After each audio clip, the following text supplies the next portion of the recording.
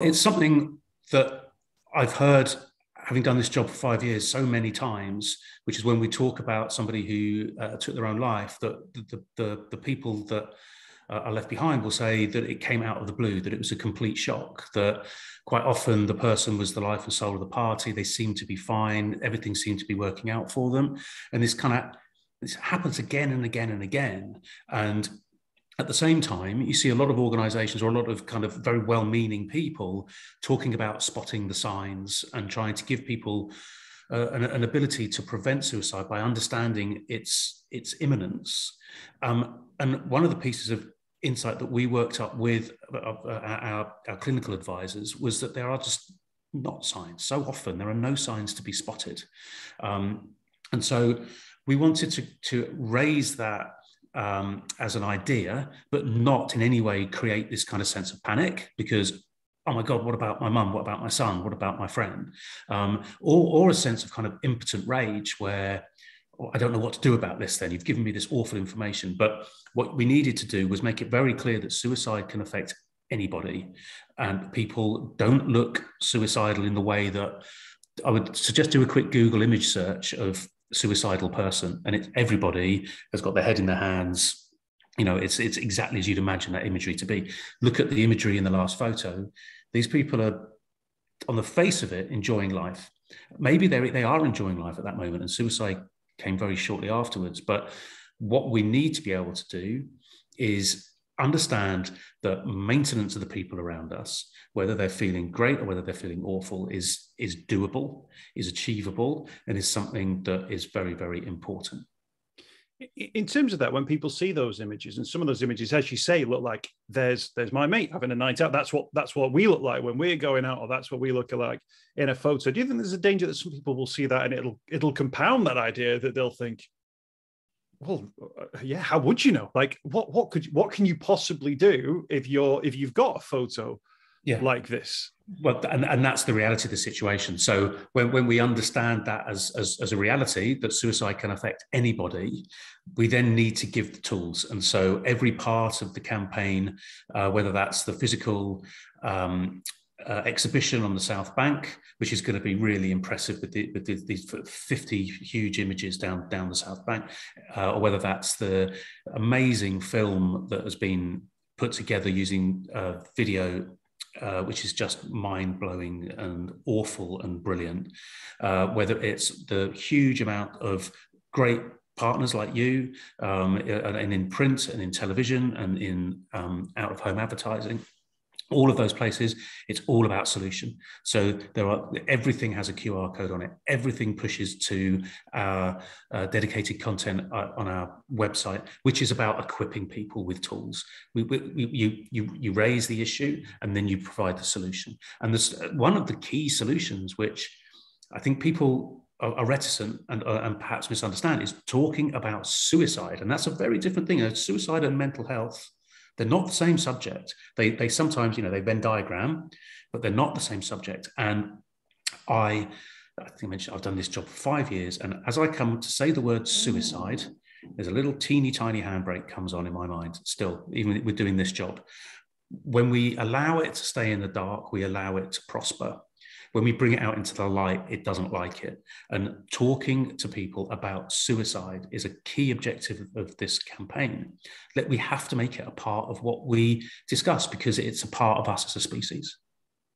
It's it's such a huge huge issue, and I wonder whether or not if you do see these images and you do look at that, each person will kind of see something a little bit different because of course the, the images of course are all different but everyone's perception or everyone's point of view of suicide where it comes from how you perceive it will be slightly different as well so i think that's going to be one of the interesting reactions how do you think people will respond when they see the pictures i, I think one of the well f- for me one of the overwhelming out the takeouts of the the images and of the film uh, are that they they don't comply with what we think suicide looks like. I mean, I mean, sorry, it's absolutely obvious, isn't it? But but they humanize these people. They're, they're just instantly likable because they're like us. You know, they're, there's um, actually what somebody in the in the in the film bears a, a physical resemblance to my son, which which I, I find very very jolting. But it's so important that we understand that people that die by suicide are not over there somewhere. They're not the Google image uh, results. They're not, it doesn't happen to other people. It happens to us as a society. It happens to us as groups of friends and colleagues and teammates. It happens to us as families. And so, yeah, I, the, the, the perceptions of each individual, I think, is very, very, it's devastatingly sad, but it's also incredibly powerful because they're us. They're not something else. They're us you can completely understand if a family member lost a loved one to suicide that they would sort of you know uh, close the front door and and, and decide you know to, to live in you know their own world. And yeah. yet so many have come forward with these images these bittersweet images you know that and they speak the, the, the families who put that forward they speak proudly of the person who's in that photo. And yet that photo is the last photo. So there's incredible strength in in the families getting involved in that, this and, and laying out their own. They've been an inspiration the whole way through it. They're, they're absolutely incredible. One of the thing that the, the, I think the most fierce supporters of Calm are people who have been tragically bereaved by suicide, and their motivation is almost always the same. They don't want anyone else to experience what they've experienced, and that that I mean that is it's it's hugely inspiring to to see these people who have suffered the worst thing in in the world. I you know I, I, can't think of anything worse. But you know, kind of losing your, your child, for example, must be the most terrible thing to have to live with.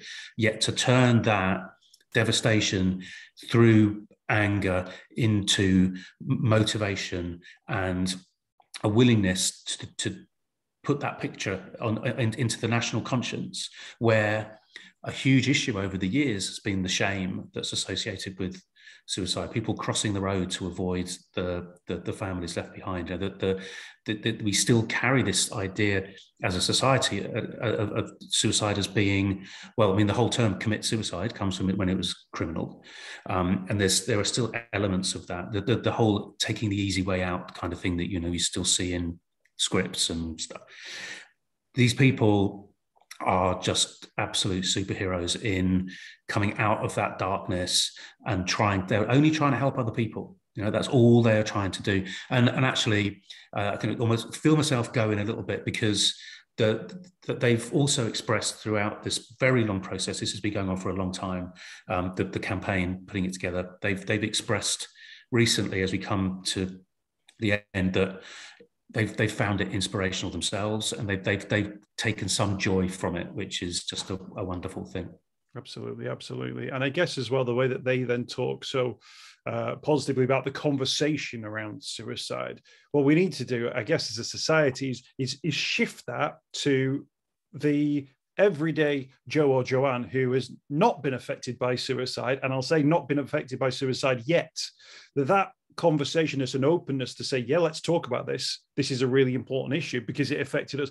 We that that's what I think where we're at in terms of that conversation. Just to pick it up and place it on the other side of a line, which means that people then talk in a preventative way rather yeah. than a, a, reactive way. It's, it's 125 people a week.